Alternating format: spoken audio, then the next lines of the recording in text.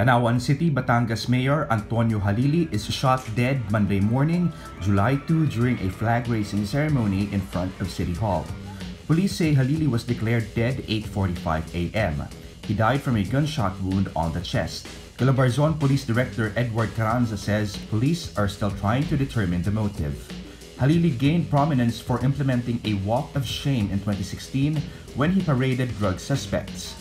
It was slammed by the Commission on Human Rights as unconstitutional. He was stripped of powers to supervise local police in November 2017 after being linked by the government to illegal drugs. A senator in Guam canceled the planned visit of former Philippine National Police Chief Ronald De La Rosa to the U.S. territory's legislature. Senator Dennis Rodriguez Jr. invited De La Rosa to visit the Guam Congress building Saturday but canceled it on Friday after another Guam senator, Telena Nelson, said it would send the wrong message.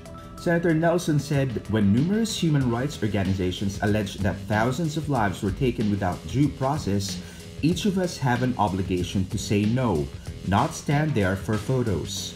Rodriguez said he canceled the courtesy visit so that he does not subject one of President Rodrigo Duterte's top advisors to that kind of treatment.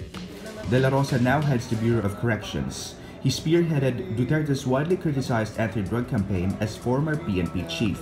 At least 4,729 suspects have been killed in the PNP's anti-drug operations, but human rights groups estimate drug-related deaths at almost 20,000.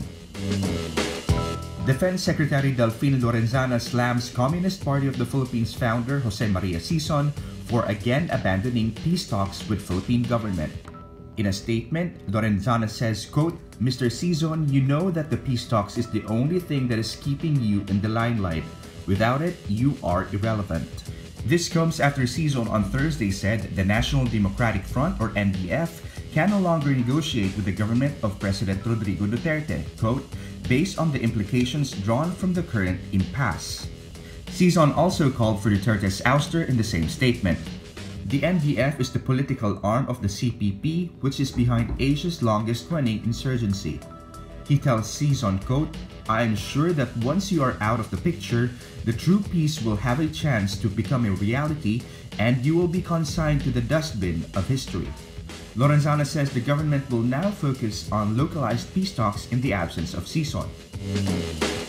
A photo was publicly posted on Facebook by a certain Herbert Florida showing Pope Francis kissing a model on the chest with the caption, What is this?